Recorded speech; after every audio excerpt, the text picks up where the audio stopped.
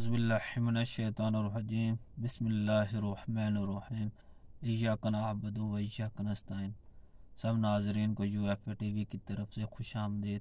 अस्सलाम वालेकुम रहमतुल्लाहि व बरकातुहू। आज बात करेंगे कि अगेती काश्त गंदम पर धुंध के क्या असरात है, कि फ़ायदा मंद है या नुकसानदा देखें, धुंध जितनी भी पड़ जाए, अगेती काश्त हो या पिछेती काश्त हो फ़ायदा मंद ही है। क्योंकि जब धुंध पड़ती है शुफे बनाने का अमल शुरू हो जाता है, जो अगेती काश्त वो दिन ब दिन परवान चढ़ रही थी तो नाड़ की तरफ़ आ रही थी।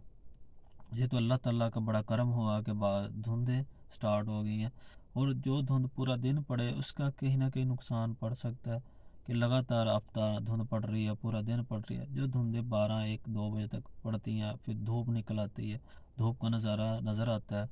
उनमें उन दिनों में गंदम के लिए बहुत ज़्यादा मुफीद है।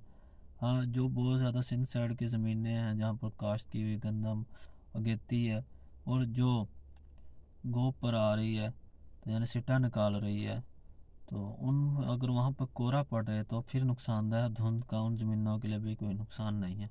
बाकी किसी भाई का कोई क्वेश्चन सवाल हो, वो कमेंट सेक्शन में पूछ सकता है। वसलाम